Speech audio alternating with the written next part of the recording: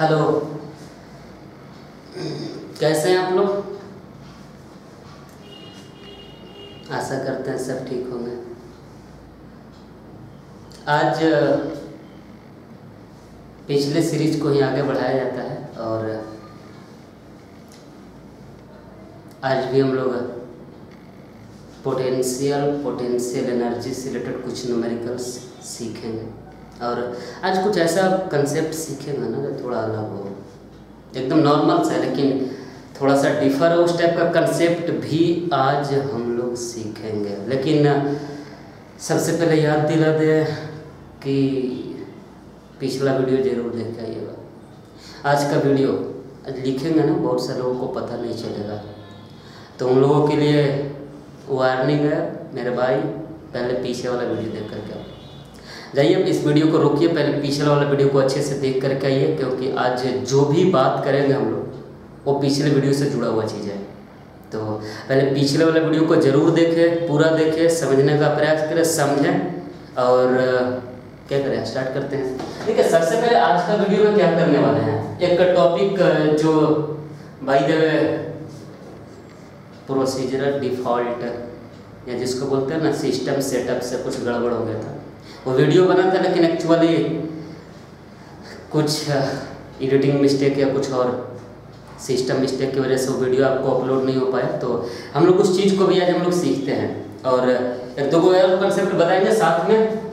आज हम लोग बात कर रहे हैं ना डाइपोल को थोड़ा सा फिर से याद करते हैं और छोटा मोटा ऐसे कंसेप्ट याद करते हैं पहले। और देखते हैं होता क्या है। अच्छा पिछला वीडियो किन्हीं को याद हो तो। डाइपोल से रिलेटेड आज का वीडियो मेरा आने वाला है।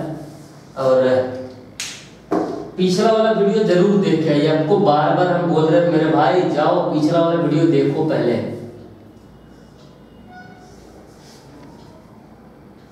देखिए, एक डाइपोल बनाते हैं, और मालूम है डाइपोल में दो चीज़ें होती हैं, इसको बोलेंगे प्लस क्यू और इसको क्या बोलेंगे? Minus Q.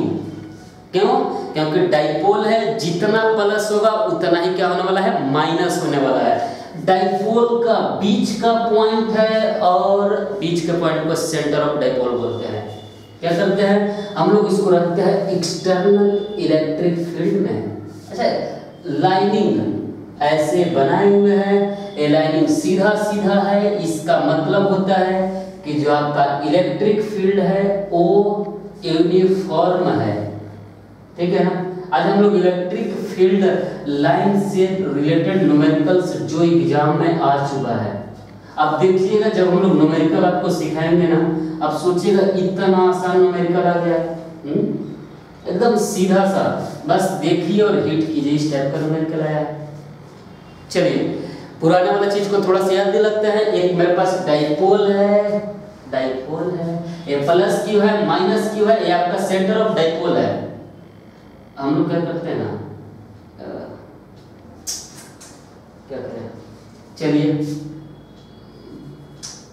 अरे यार थोड़ा सा मिस्टेक हो जाता है। इसको थोड़ा सा और बड़ा करते हैं। अब ठीक। आ, ये वाला जो पॉइंट है मेरा सेंटर ऑफ़ डाइपोल है इस सेंटर ऑफ़ डाइपोल को हम लोगों ने क्या बोला है? ओ बोला है। आपको फ़ोटो में क्या दिखा? एक एक्सटर्नल इलेक्ट्रिक फ़ील्ड दिखा। दिखा या, ये एक्सटर्नल इलेक्ट्रिक फ़ील्ड है। इसका डायरेक्शन इधर की ओर है? आपको एक डाइपोल दिखा, हाथ दिखा। कितना का दिखा? चार्ज क्यू का दिखा। मतलब क्या हुआ? प्लस का चार्ज प्लस क्यू और नेगेटिव का चार्ज माइनस क्यू डाइपोल का सेंटर दिखा ओ इस ओ को क्या बोलेंगे? सेंटर ऑफ़ डाइपोल ठीक है?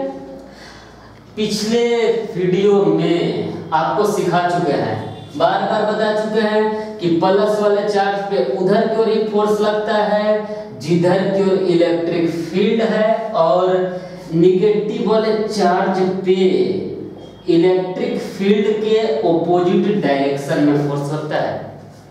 फिर से प्लस वाले चार्ज पे इलेक्ट्रिक फ़ील्ड के डायरेक्शन में फोर्स लगेगा और निगेटिव वाले चार्ज पे इलेक्ट्रिक फ़ील्ड के ऑपोजिट डायरेक्शन में फोर्स लगेगा। यानी इस इधर की ओर फोर्स लगेगा, इधर इस पे इधर को लगेगा। पिछले वीडियो में ये भी दिखाया है कि F1 का वैल्यू और F2 का वैल्यू बराबर होगा। और दोनों का मैग्नीट्यूड बराबर होगा क्यू ई के।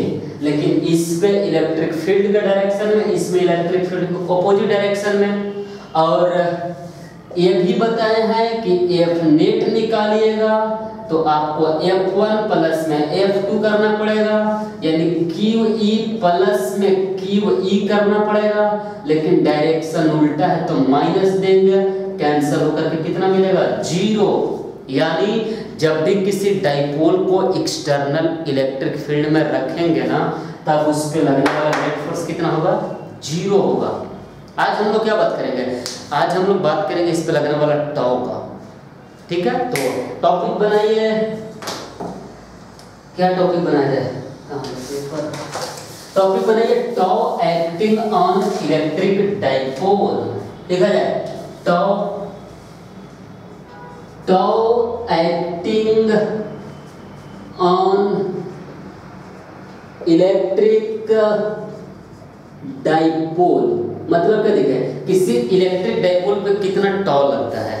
देखिए इस टॉ बराबर हम लोग क्या जानते हैं? तो टॉ बराबर बचपन से जानते हैं आर क्रॉस एफ़ जानते हैं। आर क्रॉस एफ़ ही जानते हैं ना? तो कोई कोई लोग सोच रहा होगा ना, सर जी, अगर यहाँ पे एफ़ नेट लिखेंगे तो यहाँ पे एफ़ नेट लिखा हम लोग बात सही बोल रहे हैं। हाँ? यहाँ पे एफ़ नेट बोलेंगे तो यहाँ भी टॉ नेट होगा। तो फिर बोलेगा, ये एफ़ नेट का वैल्यू ज़ीरो है तो टॉ नेट को भी ज़ीरो हो जाएगा। नहीं, गलत है। ये एफ़ नेट ज़ीरो आ रहा है। इसका ये मतलब नहीं है ना कि टॉ नेट का वैल्यू क्या जाएगा? ज़ीरो आएगा। तो कितना आएगा? चलिए, देखते हैं कितना आएगा। ऐसा करते हैं क्या? इस पे लगने वाला टॉप को हम लोग टॉ वन मान लेते हैं। और इस पे लगने वाला टॉ को टॉ टू मान लेते हैं। करें? तो हम लोग ऐसा लिख सकते हैं क्या? कि tau tau acting on positive charge और पॉजिटिव चार्ज पे कितना टॉ लग रहा है? टॉ वन ये जानते हैं ना? इसको टॉ बोलते हैं, उल्टा जे टॉ का फार्मूला क्या करें? तो आर क्रॉस एफ़ तो चूँकि फ़र्स्ट वाले के लिए बात कर रहे हैं तो हम लोग फ़र्स्ट के लिए लिखेंगे यानी देखिए जब भी टॉ निकाला जाता है ना तो एक्सिस ऑफ़ रोटेशन से निकाला जाता है। मतलब क्या है? पार्टिकल घूमेगा कहाँ से? आप इस फ़ोटो को ध्यान दीजिए इस डाइपोल को। अगर इस डाइपोल को रोटेट करना तो कहाँ से रोटेट करेगा? ये यहाँ से पकड़ेंगे इस वैसे घुमाएँगे ना। यानी सेंटर तो ये हो गया। जब भी घूमेगा सेंटर के लोग घूमेगा नामकरण तो किए नहीं। चलो यार इसका नाम के करते हैं।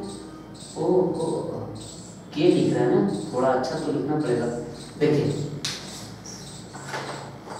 देखिए, इसका नाम के करते हैं, इसका नाम के डैश करते हैं, और ये सेंटर है सेंटर का नाम कितना करते हैं? ओ पता चला? अब पॉजिटिव चार्ज के लिए देखिए ना टॉ वन बराबर में है कितना दूरी पे है इसका पोजीशन वेक्टर तो ओ से लेकर के के तक है ना? तो क्या हम लोग इसको लिख सकते हैं? टॉ वन बराबर में ओ के वेक्टर और F1 है ना, इसको हम लोग क्यू ई वेक्टर लिख सकते हैं।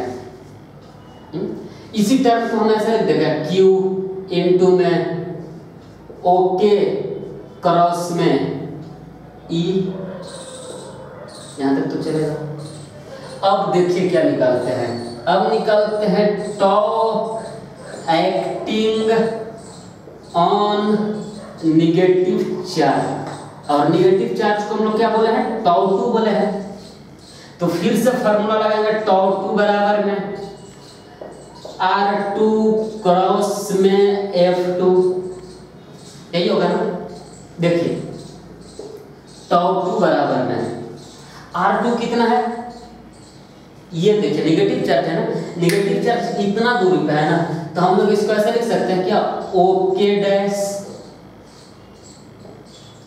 क्रॉस में F two Q E vector लेकिन क्यू ई नहीं, ये वाला माइनस था ना? इस वाला चार्ज को हम लोग क्या बोला था? माइनस क्यू तो यहाँ पे माइनस लिखेंगे क्या? इस इसी टर्म को हम ऐसे लिख दें कि माइनस क्यू लिख देते हैं। इनटू में ओके डैश और क्रॉस में कौन सा लिख देते हैं? ई e लिख देते हैं। ये माइनस को यहाँ से बदल दे।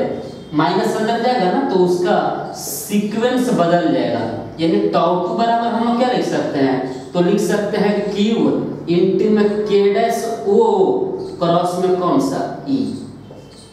अब देखिए, हम लोग इस माइनस को अंदर किए ना माइनस साइन को यूज़ किए मतलब दोनों का डायरेक्शन सेम हो गया। आपको टॉ नेट निकालना है तो टॉ नेट निकालने के लिए क्या करोगे यार? तो टॉ वन प्लस में टॉ टू करोगे। यही करोगे ना? तो टॉ वन का वैल्यू कितना है? किधर गया?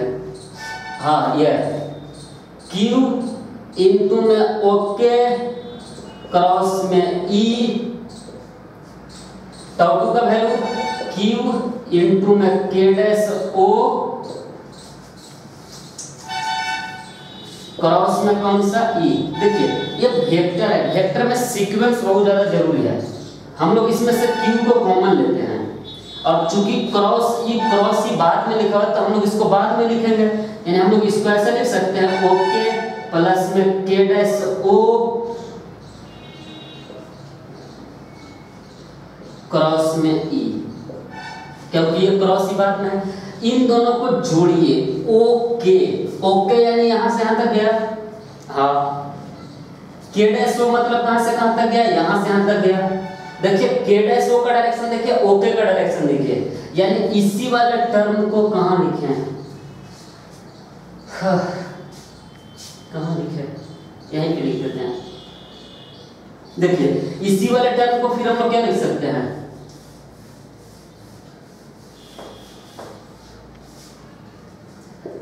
टॉ नेट बराबर है। देखिए तो हम लोग इसको लिख सकते हैं। क्यू इंटू में के डैश इंटू में के क्रॉस में ई और के डैश इंटू में के के डैश के को क्या बोलेंगे? के डैश के को क्या बोलेंगे? लेंथ ऑफ़ डाइपोल बोल सकते हैं। लेंथ ऑफ़ डाइपोल यानी टॉ नेट बराबर क्या लिख सकते हैं हम लोग? तो टॉम नेट बराबर क्यू इंटू में लेंथ ऑफ़ डाइपोल। ठीक है? और क्रॉस में क्या? Electric field. यही होगा ना? Electric field. अच्छा इसको अगर 2D बोले तो क्या लिख सकते हैं? टाउ नेट बराबर में तो टाउ नेट बराबर क्यू इंटू में 2D क्रॉस में ई। e अब बोलेगा ना, सर जी, इस टॉ का डायरेक्शन क्या टॉ तो वेक्टर क्वांटिटी है तो याद कीजिए right hand thumb rule right hand thumb rule में क्या बोले हैं? फ़र्स्ट वाले हैंड पे इसको रखना है, अपने पाम को रखना है, चारों उंगलियों को सेकंड वेक्टर की ओर घुमाना है। तब जो थंब जो है ना, अंगूठा वो आपका डायरेक्शन देने वाला है टॉ का। यानी इस सिचुएशन में क्या करेंगे? हम लोग इस वाले वेक्टर के डैश के के लोग अपने पाम को रखेंगे, इसको घुमाएँगे ई की ओर। यानी इस सिचुएशन में क्या है? ई उधर की ओर पाम को रखकर घुमा डाउनवर्ड डायरेक्शन में मिलेगा। पता चला? चलिए, ये तो टॉर्नेट का वैल्यू निकल गया। टॉर्नेट बराबर क्यू इनटू में 2d अच्छा एक चीज़ और थोड़ा सा देखिए। टॉर्नेट बराबर में। इसको हम ऐसा लिख सकते हैं क्यू? इनटू में 2d क्रॉस में e हाँ लिख तो सकते हैं। और क्यू इनटू में 2d को क्या बोलते हैं? चार्ज इनटू में डाइपोल का लेंथ इसी को P बोलते हैं क्या? हुँ? हम्म? तो टॉ नेट बराबर हम लोग ऐसा लिख सकते हैं कि P और क्रॉस में E टॉ नेट बराबर क्या लिख सकते हैं? P क्रॉस E आज के बाद आपसे कोई पूछेगा ना, किसी डाइपोल पे लगने वाले नेट टॉ का वैल्यू कितना होता है? तो नेट टॉ का वैल्यू होता है P क्रॉस E अच्छा इसी लाइन को बोलेगा ना सर जी क्रॉस से आपको कुछ याद नहीं आया। तो बोले, याद आया, लेकिन क्या? साइन थीटा यानी टॉम नेट बराबर हम लोग क्या लिख सकते हैं? P sine theta direction sir ji. Direction को भी लिख देते हैं ना एन कैप यानी आज के बाद आपसे कोई पूछेगा ना टॉम नेट का वैल्यू कितना होगा? बोलना है पी क्रॉस ई और कितना होगा? P sine theta N cap फिर पूछेगा मान लिया अगर मैग्नीट्यूड की बात करें तो? तब बोलिएगा, क्या करना क्या है? मैग्नीट्यूड के लिए हम लोग डायरेक्शन को गायब कर देंगे, यानी टॉ नेट बराबर आपको क्या मिलेगा? पी साइन थीटा आज के बाद आपसे कोई पूछेगा ना कि अगर आपके पास कोई इलेक्ट्रिक डाइपोल है, अगर आपके पास कोई इलेक्ट्रिक डाइपोल है, उस डाइपोल पे लगने वाले टॉ का वैल्यू बताइए ना। बोलना है पी क्रॉस ई पता चला कितना बोलना है? पी क्रॉस ई या पी साइन थीटा समझ में आया कैसे बनाए हाँ? समझ तो आया ही होगा। आगे बढ़ते हैं। देखिए।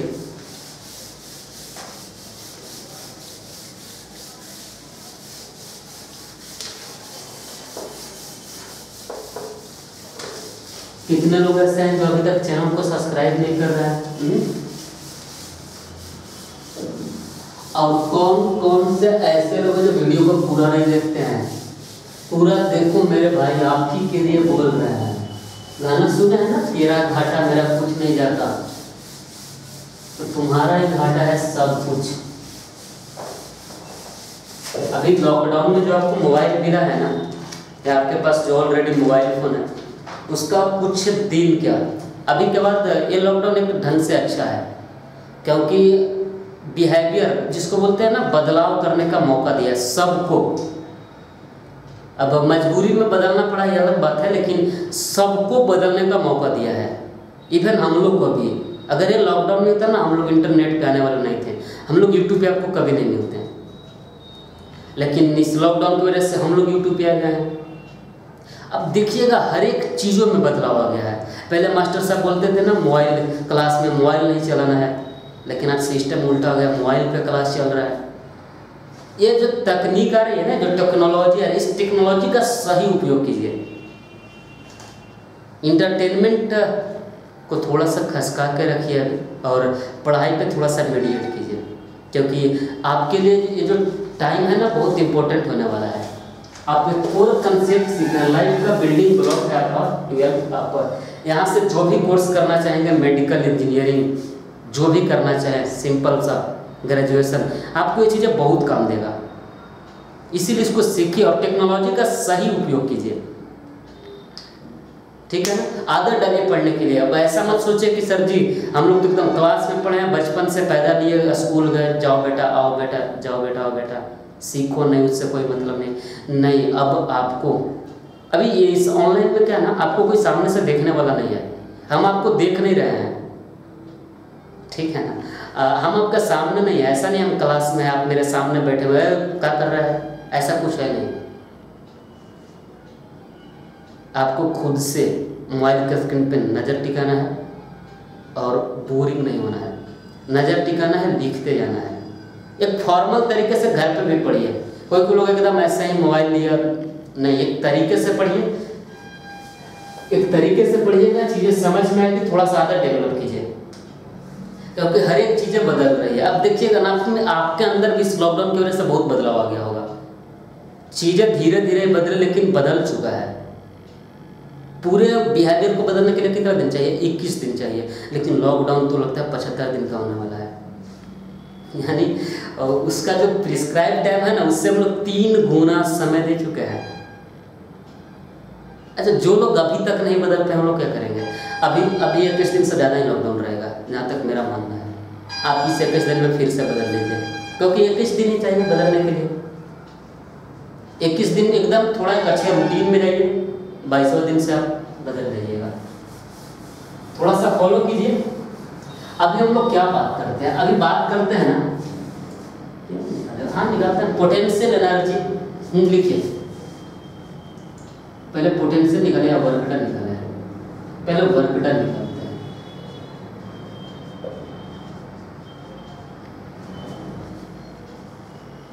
work done to rotate a dipole in a कहाँ पे? एक्सटर्नल इलेक्ट्रिक फ़ील्ड देखो ये क्या लिखा है। कि किसी डाइपोल को एक्सटर्नल इलेक्ट्रिक फ़ील्ड में रोटेट करवाना है। रोटेट करवाते हैं। कैसे? फिर से डाइपोल बनाते हैं और अगर बार बड़ा नहीं बनाएँगे, पिछली बार जगह बहुत कम गया था। इस जगह के मारामारी से बचना है। देखिए, एक डाइपोल बना ना। डाइपोल बना डाइपोल में दो चीज़ें बनाएँगे। इसको बोलेगा प्लस क्यू इसको क्या बोलेगा? माइनस क्यू अब इसको रोटेट करवाना है। अभी ये ये वाला जो लाइन दिखा है ना, अभी अगर बार एक ही लाइन दिखाते हैं। ये आपका इलेक्ट्रिक फ़ील्ड है ई तो इस पे फोर्स लगेगा इस डायरेक्शन में और इस पे फोर्स लगेगा इस डायरेक्शन में। लगेगा और अभी जो एंगल है, उसको हम क्या बोलेंगे? थीटा बोले हुए हैं थीटा बोले हुए अभी वर्क डन निकालते देखिए वर्क डन खास बात क्या है कि वर्क डन निकालने के लिए फार्मूला हम लोग जानते हैं टॉ डी थीटा यानी टॉ डी थीटा ये आपको फार्मूला याद भी होगा। याद है? टॉ इंटू में डी थीटा यानी आप टॉ घुमा रहे हैं तो थीटा ही चाहिए, छोटे से वर्क डन के लिए। हम लोग इसको छोटा सा डिस्प्लेसमेंट छोटा सा एंगुलर डिस्प्लेसमेंट देते हैं डी थीटा आप किधर देखिएगा। नॉर्मल सिचुएशन में तो अपने इक्विलिब्रियम पोजीशन में सेट हो जाएगा। जैसे मान लेते हैं ये इक्विलिब्रियम के पॉजिटिव है तो इलेक्ट्रिक फ़ील्ड आप इसको जे भी डिस्टर्ब करना चाहते हैं ना, यानी आप टॉ के उल्टा डायरेक्शन में जा रहे हैं हम्म? तो उस सिचुएशन के आप लोग क्या करना पड़ेगा? डब्ल्यू बराबर में। हम लोग यहाँ पे माइनस लिखेंगे। अरे माइनस फिर से समझिए। आपसे कोई पूछेगा ना, आप माइनस क्यों लिख रहे हो? माइनस क्यों लिख रहे हो? बोलिएगा ना कि देख भाई, मेरे पास से डाइपोल है। देखा? ये वाला पॉजिटिव चार्ज है ये नेगेटिव चार्ज है तो इक्विलिब्रियम में तो ऐसा ही रहेगा। इलेक्ट्रिक फ़ील्ड में अगर हम लोग इसको रखेंगे तो। लेकिन होगा क्या? जब भी हम लोग इसको थोड़ा सा रोटेट करेंगे ना तो हम लोग जो फोर्स लगाएँगे, जो टॉ लगाएँगे, वह इस पे लगने वाला फोर्स का अपोजिट लगाएँगे। हुँ? इसके लिए हम लोग यहाँ पे क्या देंगे? माइनस देंगे। अब W बराबर में माइनस टॉ बराबर भी हम लोग क्या सीखे? तो टॉ बराबर हम लोग अभी सीखे हैं। P sin थीटा इनटू में d थीटा W बराबर में। यहाँ से P को बाहर निकाल सकते हैं। इनटू में sin थीटा इनटू में d थीटा कर सकते हैं। देखिए, अगर क्वेश्चन ऐसा बोले ना कि इसको थीटा वन से लेकर के थीटा टू तक रोटेट करना है। पहले थीटा वन पे था, बाद में इसको हम लोग को कहाँ लेके चले जाना है? थीटा टू पे लेके चले जाना है। तो आप साइन थीटा का देखिए डिफरेंशिएशन देखिए। साइन थीटा का डिफरेंशिएशन क्या होता है? कॉस थीटा और कॉस थीटा का क्या होता है? माइनस साइन थीटा ये आपका डिफरेंशिएशन है। इसका उल्टा करेंगे तो इंटीग्रेशन मिलेगा। यही मिलता है ना? यानी cos का इंटीग्रेशन sin और sin का क्या मिलेगा? आपका माइनस cos ये याद है ना आप लोग को? यानी W बराबर हम लोग क्या लिख सकते हैं? तो PE और इस वाले टर्म के लिए हम लोग क्या लिख सकते हैं? तो माइनस cos थीटा और थीटा वन से लेकर के कहाँ तक? थीटा टू तक। ये माइनस माइनस को प्लस कर दें। यानी W बराबर आपको क्या मिलेगा? P और इसको हम लोग क्या लिख सकते हैं? cos थीटा टू माइनस में cos थीटा वन कर सकते हैं। यानी हम लोगों ने इसको रोटेट किया है थीटा वन टू लेकर के थीटा टू तक। अगर अगर कोई बोलेगा कि मान लेते हैं ना, मेरा पहले वाला चार्ज सॉरी पहले जो मेरा चार्ज पार्टिकल था,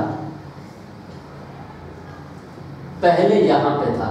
तो यहाँ पे था तो कितना होगा? 90 डिग्री यानी अगर इस सिचुएशन में थीटा वन का वैल्यू 90 डिग्री है और थीटा टू का वैल्यू कितना ले रहे थीटा पहले ऐसे था 90 डिग्री पे तो रखिएगा वैल्यू तो आपको क्या मिलेगा? W बराबर में?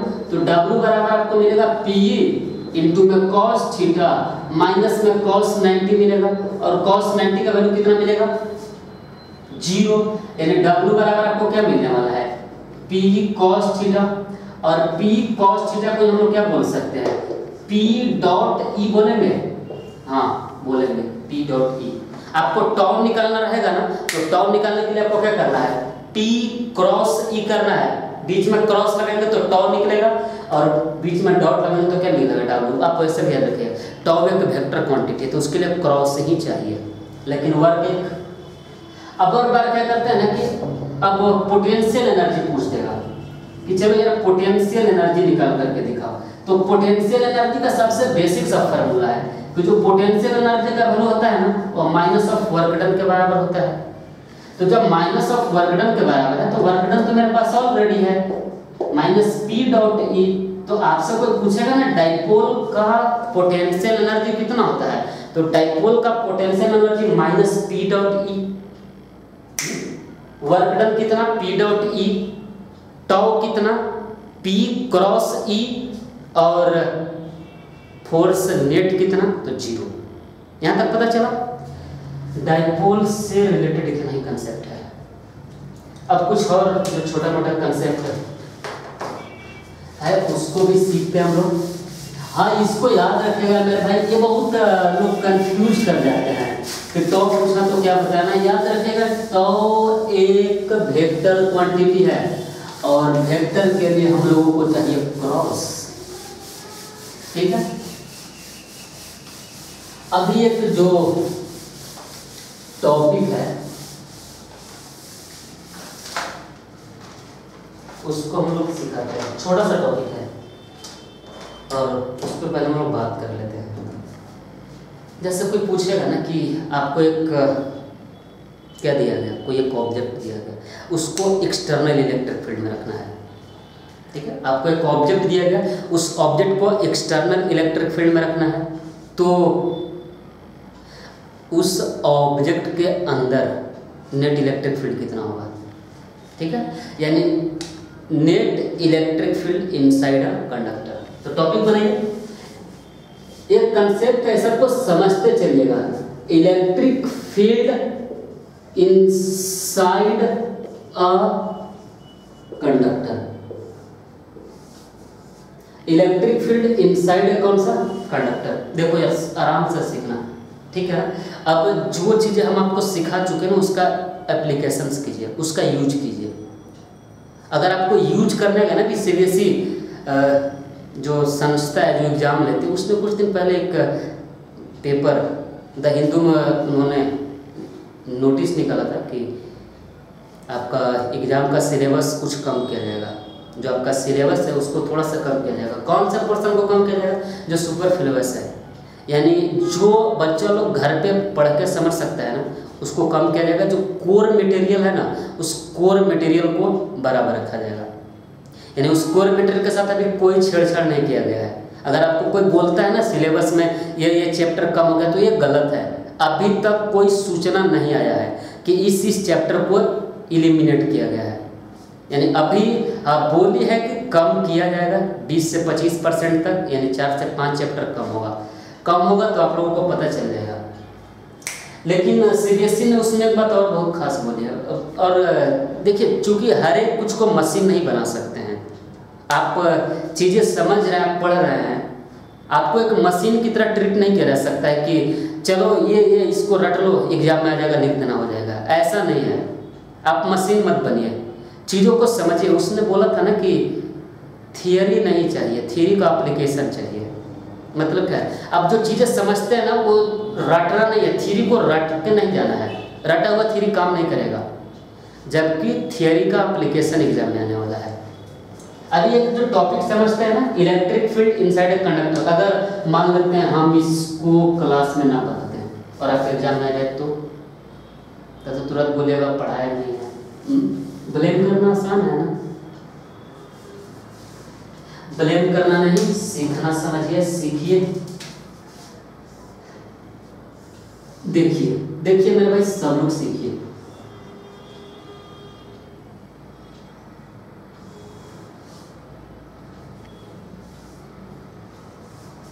बना दिया, एक ऑब्जेक्ट बना दिया। इसको रखते हैं इलेक्ट्रिक फ़ील्ड में। कितना इलेक्ट्रिक फ़ील्ड है? ई डायरेक्शन दिखा दिया। मेरे पास एक ऑब्जेक्ट है और मटेरियल है, उसको हम लोगों ने इलेक्ट्रिक फ़ील्ड में रखा हुआ है। रखा हुआ है? डायरेक्शन दिखा। अब इसमें क्या है? अगर नॉर्मल सिचुएशन में बात करें ना तो इसमें millions and millions of electron and proton है। Millions and millions of atom है। यानी millions of million of atom and electron and proton अब जानते हैं इलेक्ट्रॉन इलेक्ट्रिक फ़ील्ड के उल्टा चलेगा, प्रोटॉन इलेक्ट्रिक फ़ील्ड की ओर चलेगा। जब भी हम लोग इसको इलेक्ट्रिक फ़ील्ड में रखेंगे ना, तब उस सिचुएशन में होगा क्या कि इसका कुछ कुछ जो निगेटिव वाला जो पार्टिकल है ना, वो ड्रिफ्ट करना ड्रिफ्ट यानी स्लो स्लो मोशन में आगे बढ़ेगा। अब बोलिएगा स्लो बोल रहे मतलब कितना? हम ऐसे बोलते हैं स्लो लेकिन ये जो पूरा का पूरा घटना है ना, यह मिली सेकंड के अंदर में हो जाता है। यानी जब भी आप इलेक्ट्रिक फ़ील्ड में रखिएगा ना सेटअप टाइम ज़्यादा लगते हैं मिली सेकंड मिली यानी समझते हैं ना, एक सेकंड का हजारवा भाग। इधर को ड्रिफ्ट करेगा, कुछ समय बाद होगा क्या? कि इस वाले एंड पे जो है ना, वह माइनस हो जाएगा। और जितना इस पे माइनस डिपॉजिट होगा, उतना ही इस पे क्या डिपॉजिट होगा? प्लस डिपॉजिट होगा। कब तक डिपॉजिट होगा? जब तक इस इलेक्ट्रिक फ़ील्ड में स्ट्रेंथ होगा। हम्म? और जब ही, मान लेते हैं अंदर का electric field E one E dash है, क्योंकि इलेक्ट्रिक फ़ील्ड जहाँ प्लस हो गया, जहाँ माइनस हो गया इलेक्ट्रिक फ़ील्ड तो होगा ही। बाहर का इलेक्ट्रिक फ़ील्ड ई है। तो इलेक्ट्रॉन ड्रिफ्ट करेगा। कब तक ड्रिफ्ट करेगा? जब तक बाहर वाले ई का वैल्यू ई डैश से बड़ा होगा ना, तब तक ड्रिफ्ट करते जाएगा। लेकिन जब ही ई और ई डैश का मैग्नीट्यूड बराबर होगा ना इलेक्ट्रॉन का जो ड्रिफ्ट करना है ना, जो इलेक्ट्रॉन आपका ड्रिफ्ट कर रहा है, वो अपने आप क्या हो जाएगा? स्टॉप हो जाएगा, बंद हो जाएगा। और जब ही बराबर होगा मतलब क्या है? इसका डायरेक्शन देख रहे हैं, बाहर क्यों है? इसका डायरेक्शन देख रहे हैं, अंदर क्यों है? दोनों एक दूसरे को कैंसिल करेगा और नेट इलेक्ट्रिक फ़ील्ड का वैल्यू आपको क्या मिलने वाला है? ज़ीरो मिलने वाला है। यानी आपसे कभी भी कोई पूछे ना कि किसी भी पार्टिकल में अगर उसको एक्सटर्नल एक्सटर्नल इलेक्ट्रिक फ़ील्ड में रखते हैं, तब उस पर नेट इलेक्ट्रिक फ़ील्ड का वैल्यू कितना होगा? तो आंसर देना है ज़ीरो। कितना देना है? ज़ीरो। अभी कुछ और टॉपिक को सीखते हैं। देखिए।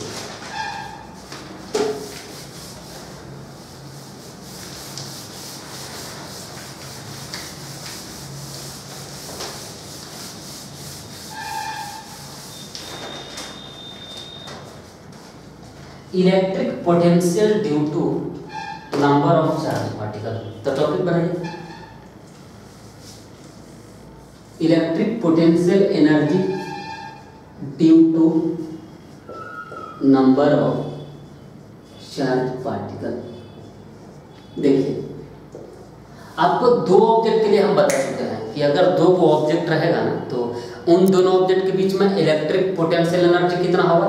तो आपको बताना है U बराबर one by four pi epsilon naught Q one Q two बटा आर यही पता है? One by four pi epsilon naught Q one Q two बटा कौन सा आर अगर आपसे कोई पूछेगा कि चलो, पहले ऐसे सिखाते हैं। एक चार्ज यहाँ पे है हाँ सर जी, सही है। दूसरा वाला चार्ज यहाँ पे है हाँ ये भी सही है। कितना दूर है सर जी? कितना दूर बोला? इन्फानाइट दूरी इन्फिनिटी दूरी है मेरे पास दो चार्ज पार्टिकल है Q1 और Q2 और दोनों के बीच में इन्फानाइट दूरी है। पूछेगा ना पोटेंशियल एनर्जी कितना होगा? तो जब ये दोनों इन्फानाइट दूरी पर रहेगा ना, बोलना है पोटेंशियल एनर्जी का वैल्यू कितना होगा? ज़ीरो होगा। पता चला? अब कोई बोला कैसे? ऐसे ही मान ले क्या? नहीं, ऐसे नहीं मत मानो। Q1 Q2 डिवाइड में होता है। आप इस आर का वैल्यू क्या लिख सकते हो? इन्फिनिटी और जब इन्फिनिटी लिखोगे, पूरा का पूरा टर्म क्या मिल जाएगा? ज़ीरो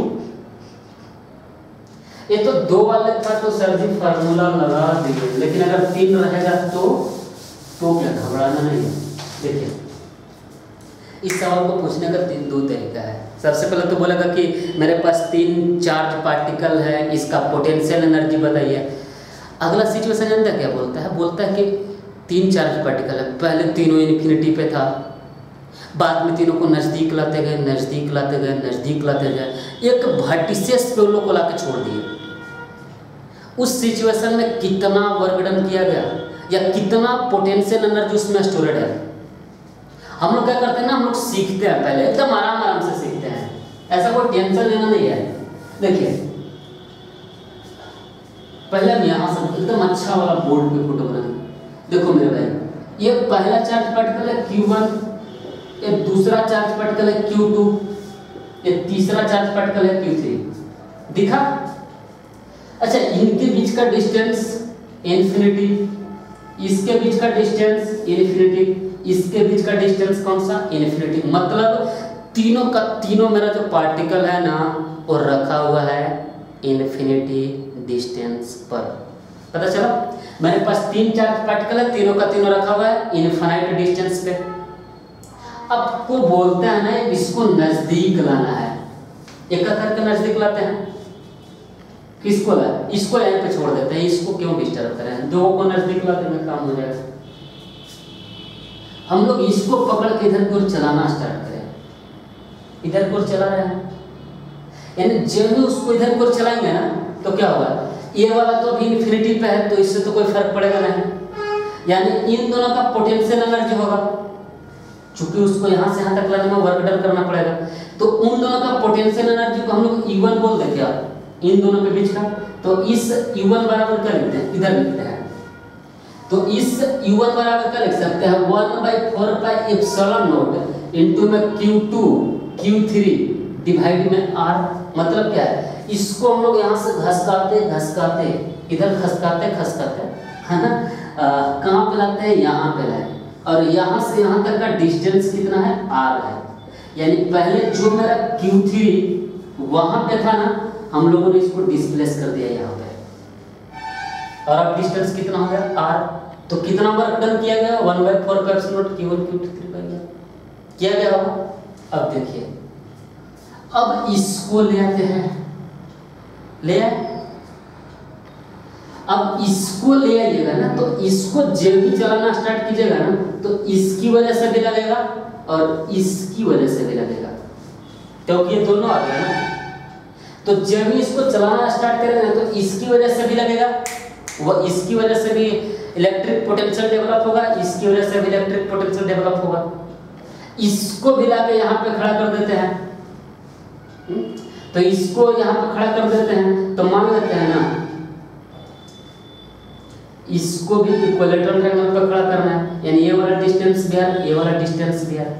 यानी इस पार्टिकल के लिए इसके लिए भी वर्क डन निकालना है, इसके लिए इसके लिए भी वर्क डन निकालना है। तो ए वाला और ए वाला का वर्क डन को हम लोग u2 मान लें तो 1 by 4 pi epsilon naught into में q1 q2 डिवाइड में r चूँकि इक्विलेटरल ट्रायंगल है। इसके बीच में निकालेंगे u3 तो 1 by 4 pi epsilon naught into में q1 q3 डिवाइड में डिवाइड में r सबको जोड़ दीजिए ना। U नेट निकालना है तो u1 प्लस u2 प्लस में u3 यानी u नेट बराबर आप क्या लिख सकते हैं? तो u नेट बराबर 1 by four pi epsilon naught common ले लेते हैं ना। तो q1 यहाँ से लिखना स्टार्ट करते हैं। Q2 q3 by r plus में q1 q2 by r plus में q1 q3 बाई r मतलब क्या सीखे? अगर तीन पार्टिकल को एक इक्विलेटरल ट्रायंगल के वर्टिसेस पे लाया जाए, कितना वर्क डन करना पड़ेगा? इतना। ठीक है? चलिए इसका तरीका बता देते हैं। ये तो कंसेप्ट हो गया। अब इसका जनरल सोचने समझने का तरीका बताते हैं नोट बना के इसको लिख लीजिएगा। देखिए, करना क्या है?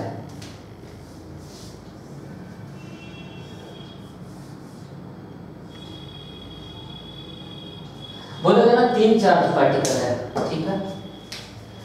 ऊपर वाले वर्टिसेस पे जो चार्ज पार्टिकल है Q1 है, यहाँ पे जो चार्ज पार्टिकल है Q2 है, यहाँ पे जो चार्ज पार्टिकल है Q3 है। R1 डिस्टेंस है R2 डिस्टेंस है R3 डिस्टेंस है। बोलेगा टोटल पोटेंशियल एनर्जी बताइए। तो टोटल पोटेंशियल एनर्जी बताने के लिए मेरे पास एक ही उपाय बचता है। U निकालेंगे। और इस U बराबर क्या करेंगे? तो U बराबर करेंगे one by four pi epsilon naught लिखेंगे लिख दिया। अब पेयर मिलाइएगा। एक भी पेयर छूटना नहीं चाहिए। क्या बोले? एक भी पेयर छूटना नहीं चाहिए। इन दोनों को पहले कंप्रोमाइज कीजिए। यानी हम लोग क्या लिख सकते हैं? Q1 Q2 डिवाइड में R1 इन दोनों को कीजिए। प्लस में Q2 Q3 डिवाइड में R2 फिर उन दोनों को कीजिए। तो फिर Q one Q three divide में आर थ्री इसके अलावा भी पेयर दिखाई दे रहा है क्या? कोई बोलेगा sir ji Q two Q one अरे नहीं ना। एक ही पेयर है Q one Q two Q two Q one अलग पेयर थोड़ी है। वैसे भी एस के अलग है ना? हुँ? अब कोई बोलेगा चार बार रहेगा तो सर जी दिखाते हैं ना। देखिए। अच्छा कोई बोलेगा ना इक्वलेटरल ट्रायंगल रहेगा ना सर जी? मतलब क्या है? अगर बोलेगा ना कि Q1, Q2, Q3 तीनों बराबर हो R1, R2, R3 तीनों बराबर हो तो तो भी करके दिखाते हैं। इफ़ लेकिन अगर ऐसा देगा तो ना। Q1, Q2, Q3 तीनों बराबर है। किसके बराबर है? Q के बराबर है। फिर बोलेगा R1 बराबर है R2 बराबर है R3 बराबर है R के करना थोड़ी है वैल्यू रख देंगे। तो u निकालने के लिए क्या करेंगे? One by four pi epsilon naught into में q इनटू में q डिवाइड में r q इनटू में q डिवाइड में r इनटू में q इनटू में q डिवाइड में r एन लगाना। U बराबर में क्या लिख सकते हैं? One by four pi epsilon naught into में। q square by r plus में। q square by r plus में। q स्क्वायर बाई r क्या को q स्क्वायर बाई r मिला तीन गो। यानी हम इसको ऐसे लिख सकते हैं क्या? थ्री क्यू स्क्वायर डिवाइड में four pi epsilon naught r आज का जब सबको पूछेगा ना कि सी इक्विलेटरल ट्रायंगल पे तीन चार्ज है सेम क्वांटिटी का। टोटल पोटेंशियल एनर्जी कितना होगा? थ्री क्यू स्क्वायर हो गया मतलब क्या है? एक वाले पेयर का जितना होगा ना, उसका तीन गुना होगा। फिर पूछेगा, अगर क्वाड्रिलेटरल रहे तो? तो ऐसा मत बोल दीजिएगा, चार। क्यों नहीं बोलना है? अभी दिखाते हैं ऐसा मत सोचिएगा ट्रायंगल है तो तीन क्वाड्रेंटल है तो चार। एकदम गलत गलत ये सब चीज़ें हैं। अभी करके दिखाते हैं ना, पता चलेगा क्यों ऐसा बोले। देखिए इसको रहने देते हैं? लिख देते हैं थ्री क्यू स्क्वायर डिवाइड में four pi epsilon naught R लिख दिया? चार बनाते हैं बनाओ बनाओ चार बनाओ।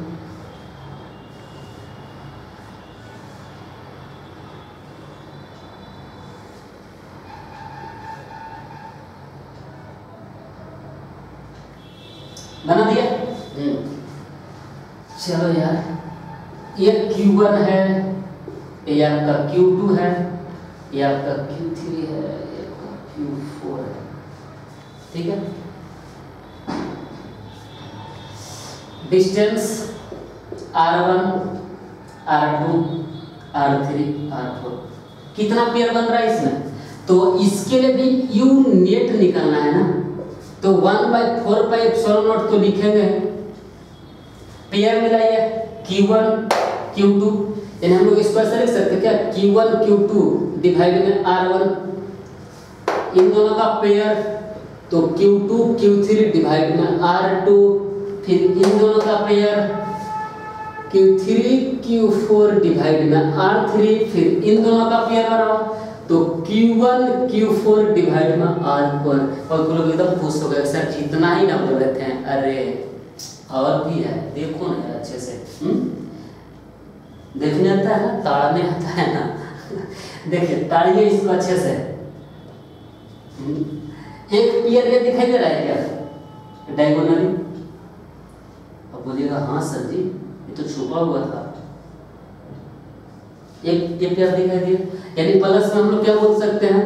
प्लस में बोलेंगे Q2 Q4 डिवाइड में नाम तो कुछ दिया नहीं R5 कर देते हैं ना। R5 फिर बोलिएगा, जब एक डायगोनल हो गया, एक भी तो डायगोनल है। तो बोलेंगे R6 कर दो ना। यानी Q1 Q3 डिवाइड में R6 ठीक है? इतना हो गया। अच्छा कोई बोलेगा ना, सर जी गिनिए ना। एक, दो, तीन, चार, पाँच, छः। मतलब अगर क्वाड्रेटर रहेगा तो six Q square by four pi kilometre नहीं, अभी भी गलत है। क्यों? करके दिखाते हैं। आप इसको स्क्वायर करके देखो। आप खुद से थोड़ा सा सोचो, पता चलने लगेगा, सब कुछ पता चलेगा। आपको बार बार बताते हैं, मेरे क्लास में रटने मत आइएगा, सर जी। रटिएगा नहीं, समझिएगा चीज़ें। चलो स्क्वायर बना दिए। हम्म? यहाँ पे भी कितना रखे हैं? क्यू रखो। यहाँ पे भी क्यू यहाँ पे भी क्यू और यहाँ पे भी कौन सा? क्यू बात सही है। ए वाला डिस्टेंस भी यार ए डिस्टेंस भी यार ए डिस्टेंस भी यार ए डिस्टेंस भी यार यहाँ तक भी सही है। लेकिन क्या ये वाला डिस्टेंस भी होगा? नहीं यार होगा। ए वाला डिस्टेंस का वैल्यू रूट टू आर के बराबर होगा। और ए वाला का वैल्यू किसके बराबर होगा? रूट टू आर क्यों? क्योंकि दोनों का दोनों डायगोनल है। अब आप इसको इसमें रख दीजिएगा। हम भी रखें हम नहीं रखेंगे। आप खुद रखिएगा, बनाइएगा, बनेगा। पता चला? चलिए। ये तो तीन, चार, पाँच रहेगा तो बना लीजिएगा। हम क्या बोलेंगे ऐसा कॉमन से देखिएगा, कोई भी पेयर ना छूटे। नहीं तो बुरा मान जाएगा फिर। ठीक है ना? तो केवल इतना ही याद रखना है, कोई भी पेयर नहीं छूटना चाहिए, बाकी तो आंसर आ ही जाएगा। चलिए अब कुछ और अलग कंसेप्ट सीखते हैं। फिर बोलेगा ना कि पोटेंशियल निकालना है। लेकिन हमको लगता है कि आज पर हम लोग रहने हैं। आज का वीडियो हम लोग यहीं पर स्टॉप करते हैं। मिलते हैं नेक्स्ट डे कुछ नए टॉपिक के साथ। और अगला वीडियो भी इससे ज़्यादा थोड़ा एडवांस मिलेगा जाएगा। तो फुल प्रिपेयर होकर आइएगा। मिलते हैं नेक्स्ट क्लास में। Thank you